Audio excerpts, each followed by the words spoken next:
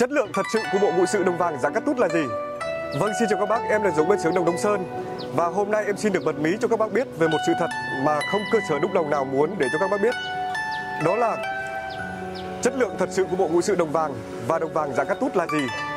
Sau đây xin mời các bác cùng theo dõi. Đối với đồng vàng thì nếu các bác có thời gian tìm hiểu thì các bác sẽ biết ngay thôi ạ. Đồng vàng thì nó chính là hợp chất của đồng đỏ kết hợp với kim loại khác theo tỷ lệ từ 40 đến 80% đồng ở trong hợp chất đấy thì sẽ được gọi là đồng vàng. Chính vì vậy mà chất lượng của nó sẽ phụ thuộc vào cái tỷ lệ pha trộn của từng cơ sở đúc đồng các bác ạ. Và các bác lưu ý, đối với đồng cắt tút thì nó cũng chính là đồng vàng, nhưng mà đây là một cái dạng đặc biệt của đồng vàng mà chỉ được ứng dụng ở trong quân sự thì mới có. Cho nên là nó sẽ có một số cái đặc tính rất là ưu việt. Em ví dụ như thế là tính ờ, chống ăn mòn, chống oxy hóa rất là cao này và cái màu của nó sẽ là màu vàng ánh xanh, vô cùng là bắt mắt, vô cùng là đẹp. Và đây cũng là cái chất liệu rất là dẻo, nó chịu được cái áp lực áp suất và cái môi trường khắc nghiệt cao. Chính vì vậy mà giá trị của bộ ngũ sự đồng cắt tút này bao giờ cũng là cái giá trị cao nhất đứng đầu trong tất cả các loại đồng. Và bây giờ thì em sẽ quay lại về chất liệu đồng vàng. Thì đồng vàng nó chính là hợp chất của đồng đỏ kết hợp với lại kim loại khác nên bản thân của đồng vàng sẽ chia ra làm bốn loại. Loại một thì đó chính là đồng vàng cao cấp. Thì tại sao lại gọi là đồng vàng cao cấp ạ? Thì thế này các bác ạ. Để đúc ra những cái sản phẩm đồ thờ bằng đồng trang trí trên bàn thờ có màu sắc sáng đẹp bắt mắt và có tính chống ăn mòn, chống oxy hóa cao, bền bỉ về mặt thời gian thì thông thường sẽ pha đồng đỏ kết hợp với lại kẽm với tỷ lệ từ 15 đến 20% kẽm ở trong hợp chất này. Thì đây chính là đồng vàng loại 1. Các bác có thể là dựa vào màu sắc này, kích thước và trọng lượng để xác định xem có phải là đồng vàng loại 1 hay không. Thì em ví dụ như bộ cao 50, đồng vàng loại 1 sẽ nặng từ 21 đến 22 kg. Bộ 60 sẽ nặng khoảng 29 đến 30 kg, còn bộ 65 sẽ nặng từ 36 đến 38 kg.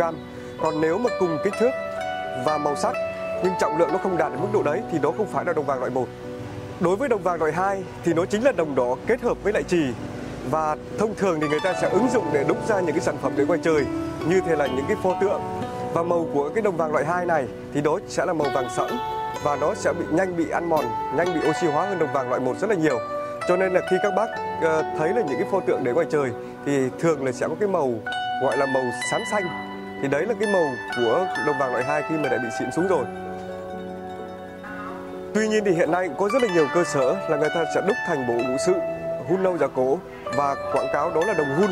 Cho nên là các bác hết sức lưu ý về cái chất liệu đồng vàng loại 2 này. Và loại 3 thì đó chính là đồng vàng pha tạp.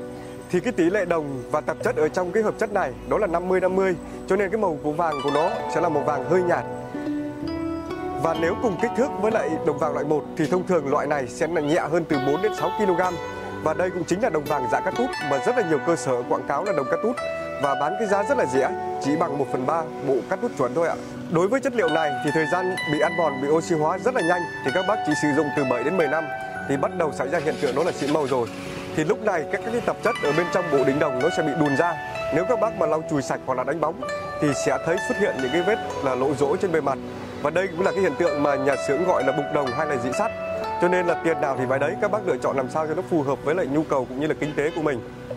Thì các bác phải lưu ý, trong tất cả các kim loại, nếu mà so sánh cùng cái khối lượng thì chỉ có chì là trọng lượng tương đương nặng ngang với lại đồng đỏ thôi. Còn tất cả những kim loại khác thì sẽ nhẹ hơn rất là nhiều. Chính vì vậy mà bộ ngũ sự đồng vàng giả các tút sẽ nhẹ hơn đồng vàng loại 1 là như vậy cuối cùng là loại 4 thì loại 4 nó chính là đồng vàng Đài Loan. Thì thực tế thì cái hợp chất này thì không phải là đồng các bạn ạ, mà nó chính là gang pha với lại một chút đồng. Sau đó thì sẽ phủ một cái lớp sơn đồng rất là dày lên để tạo sự bắt mắt cho sản phẩm. Cho nên là về chất lượng của loại này thì nó kém hơn rất là nhiều so với những loại trên và giá thành của nó cũng rất là rẻ thôi. Cho nên khi các bác quan tâm về những cái sản phẩm bằng đồng thì cũng nên bỏ thời gian tìm hiểu một chút đừng để cho những cái cơ sở khác là người ta lợi dụng vào lòng tin của các bác để trục lợi và sau đây xin mời các bác cùng xem hai bộ ngũ sự được làm từ chất liệu đồng cắt tút và đồng vàng của bên em để có cái cơ sở để so sánh. Bên tay phải của em đây thì đó chính là bộ ngũ sự đồng cắt tút. Đây là hàng chuẩn cắt tút các bác nhé. Bộ này là cao 60, sẽ gồm một đỉnh đồng là cao 60 phân này, hạc là cao 65 và chân nến là cao 50. Và tổng cân nặng bộ này thì sẽ rơi vào từ 37 đến 40 kg. Thì đối với đồng cắt tút này thì toàn bộ sẽ đúc liền nguyên khối hết từ con nghê này, tai mây này và chân lân sẽ đúc liền nguyên khối. Và toàn bộ phần họa tiết hoa văn sẽ được chạm khắc thủ công cho nên đường nét của nó rất là tinh xảo và mềm mại. Trên hạc và trên nến sẽ là những cái họa tiết hoa văn là chạm khắc chìm. Đây các bác có thể thấy rất là tinh xảo luôn. Tiếp theo thì đó là bộ ờ, ngũ sự đồng vàng cao cấp. Thì bộ này cũng là bộ 60 sẽ gồm có một đỉnh đồng cao 60 phân này, hạc cao 62 và chân nến là cao 50.